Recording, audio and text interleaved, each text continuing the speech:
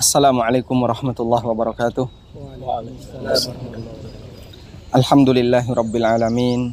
Wassalatu wassalamu ala ashrafil mursalin Nabiyina wa maulana Muhammadin wa ala alihi wa sahbihi ajma'in Alhamdulillah saat ini saya berada di rumah tahfid di bawah yayasan Zahratul Jannah dan beliau yang berada di sebelah kiri saya adalah Abu Angka beliau sebagai mudir dan pendiri dari rumah tahfid namanya apa? Zahratul Jannah. Zahratul Jannah.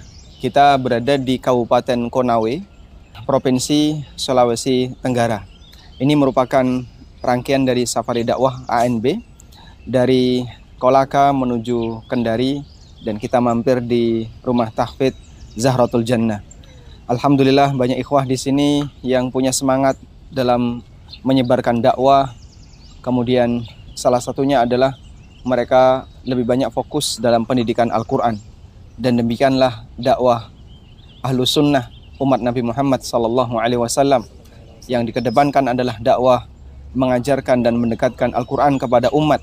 Termasuk di antaranya adalah mengajarkan tentang akidah, mengajarkan tentang tauhid dan beberapa ilmu yang wajib untuk diketahui setiap muslim.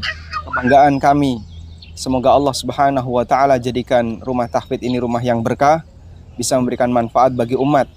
Dan Nabi sallallahu alaihi wasallam pernah menyebutkan ya blugu hadzal amru ma balaghal lail wan nahar. Sungguh agama ini akan sampai di tempat yang di situ ada siang dan malam.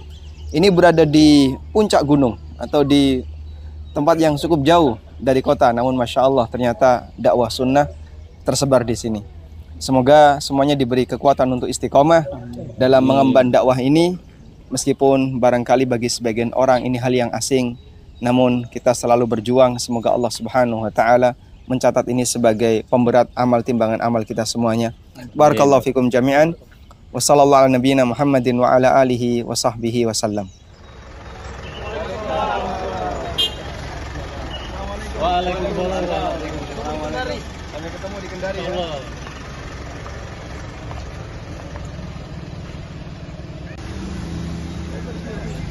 Thank you.